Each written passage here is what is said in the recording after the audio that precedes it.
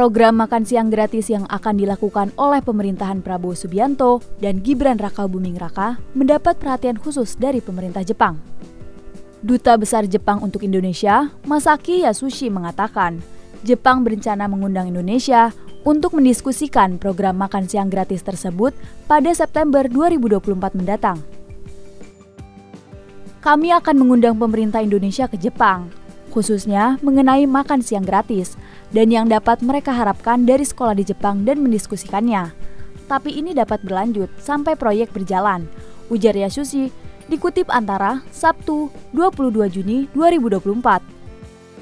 Yasushi mengatakan makan siang gratis di sekolah-sekolah di Jepang sudah berjalan lebih dari 100 tahun, sehingga bisa diterapkan ke lebih dari 3 juta sekolah.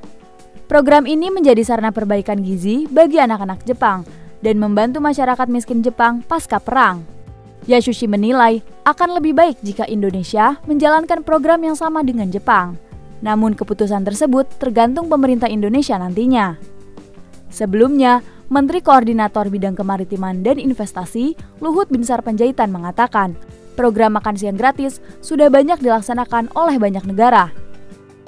Adapun program ini akan dijalankan di pemerintahan Prabowo Gibran yang dilakukan secara bertahap dengan dana di tahap pertama sebesar 20 triliun rupiah.